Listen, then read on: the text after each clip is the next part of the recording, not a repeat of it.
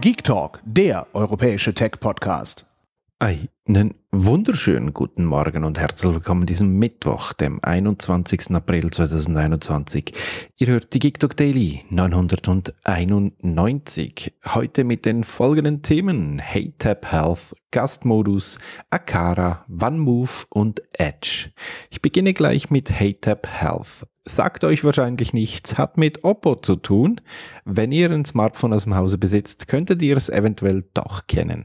Das ist so das, was bei Google Fit ist, das, was bei Apple, ähm, was ist das nochmals? Apple Health ist, genau, und bei anderen Herstellern ähnlich heißt. Das gibt's auch bei Oppo, wie gesagt, bis anhin nur für Androiden gab es das Ganze. Mittlerweile gibt es jetzt auch, das hoffe ich kann der eine oder andere Hörer hier bestätigen, auch für die iOS-Plattform. Zumindest ich auf meinem Account kann die App runterladen und somit auch die ganzen Daten oder könnte ich die ganzen Daten von mein oder eben nicht mein Oppo Wearables, was ein, Band ist oder eine Smartwatch, auch auf das iPhone runterziehen und somit dann in Apple Health integrieren, womit sich das Ganze dann auch auf die ganzen anderen Dienste und Möglichkeiten übertragen lassen würde.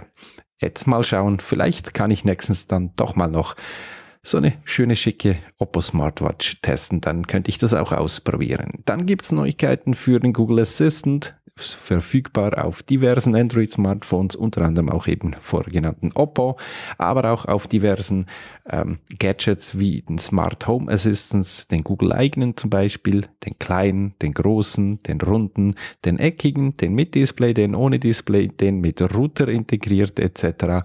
Und der hat jetzt den Gastmodus auch für Deutsch, Französisch und Eng, äh, Italienisch ausgeliefert bekommen. Heißt, ihr könnt eurem Hey Tante Google da drüben Gastmodus aktivieren oder eben deaktivieren sagen.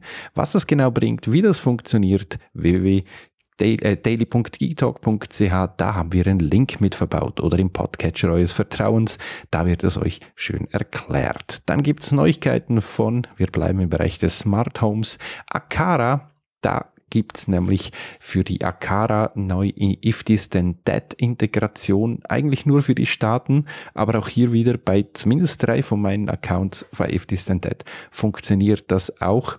Lasst mich mal wissen, ob das bei euch auch so ist. Wenn ihr dann Sensoren oder Gadget aus dem Hause Akara besitzt. Wenn ihr nicht, was das alles ist und was das alles kann, auch hierzu Links in den Show Notes mit drin. Dann kommen wir zu OneMove. Dazu gab es vor kurzem schon mal Neuigkeiten, denn das waren eine der ersten Geräte neben Belkin und dem anderen, dessen Name mir jetzt gerade nicht einfällt, die eine Wo ist Integration bei Apple bekommen haben. Zumindest mit neuen Modellen.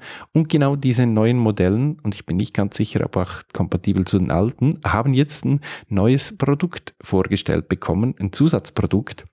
Es ist nämlich ein externer Akku.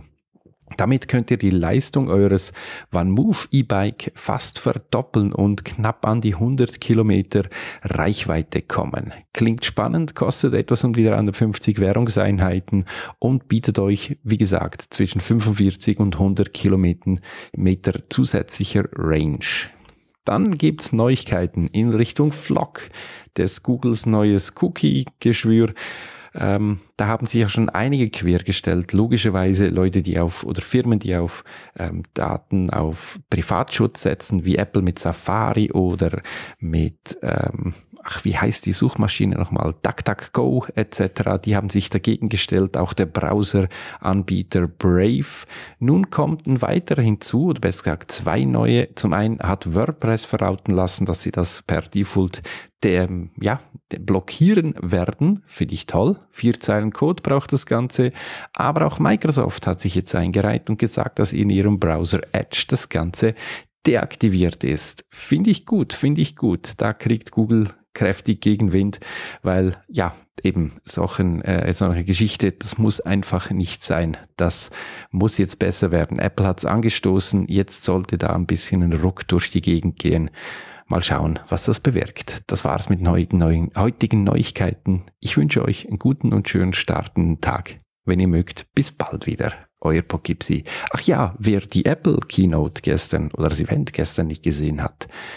Ähm, Link in der Beschreibung und Podcast-Notizen mit drin. Geek Talk 991 hat einzig und allein das Apple-Event begleitet. Ein bisschen überdreht, aber mit viel Freude. In diesem Sinne, bis bald. Tschüss. Hört mehr Geek Talk.